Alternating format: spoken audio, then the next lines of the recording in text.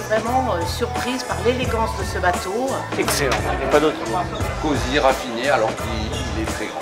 On sent l'ADN de, de Costa. Costa Firenze, un beau bijou. I'm very happy to be here in Marseille and uh, I always like this port because they give always a, a great welcome. So I invite all uh, uh, people living in Marseille, but not only all people living in, in uh, France, to come on this beautiful ship. They will enjoy and uh, we will try our best to transform uh, their vacation uh, like in uh, the best dream of their life.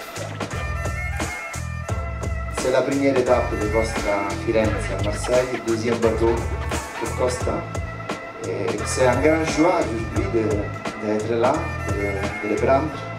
On va le prendre avec beaucoup de pragmatisme. Je salue aussi maintenant les amis agents de voyage et les médias qui nous honorent avec la, présence. Costa Firenze, c'est un hommage à Florence. Le thème de ce bateau, c'est Florence, c'est la Renaissance. Quel bateau après Esmeralda pouvait mieux donner un titre pour les activités qu'on va faire la Renaissance Costa Firenze. I'm, I'm feeling very very excited because you know after one year and a half almost that we stop it with cruising. Now uh, today is a great day because we can start again and uh, we hope to go in better and better and better. I want to say that now is the right time to start in again. So don't be afraid. We are very, very safe. We are cruising. We enjoy. We entertain. So don't worry and come on cruise. Come on cruise in Costa Crociere, of course.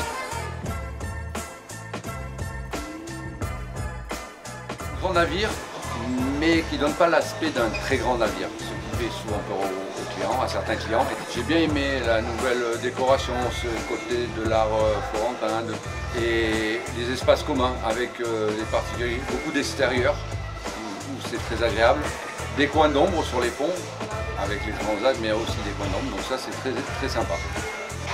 Alors à mes partenaires, à mes clients, je vais leur vendre en disant qu'on peut faire leur activité, puisque je privatise souvent des salons et des endroits sur le bateau.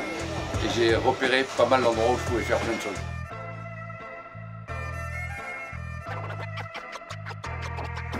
Différenciation par rapport à leur concurrence, justement avec la mise en valeur de ces espaces et une clientèle un petit peu plus haut de gamme.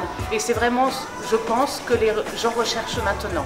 Il y a beaucoup d'espaces, de nombreux espaces pour les enfants, pour les ados aussi, des espaces aussi de détente, des espaces spécialement réservés aux adultes. Ça, c'est vraiment aussi un atout très très important lorsqu'on veut voyager en dehors des vacances scolaires. Mais bien sûr, toujours les enfants gratuits pendant les vacances. Un repas excellent, euh, tout était bon, très fin, très, beaucoup de saveurs, excellent. Bateau magnifique, beaucoup d'espace, euh, très aéré, euh, belle décoration, tout ce qu'il faut pour passer un moment agréable. Vraiment apprécié et là je dois dire qu'on a bien vu la différence, enfin moi je l'ai bien vu lors de ce déjeuner, c'est vrai qu'on sent bah, qu'il y a une recherche culinaire derrière, c'était très agréable et vraiment très qualitatif au niveau de, ce déjeuner voilà, le, Costa Firenze, c'est la renaissance et je pense qu'on en a tous besoin. Et euh, bah, c'est bon pour conclure cette belle journée en disant qu'on veut tous repartir et, euh, et au plus vite.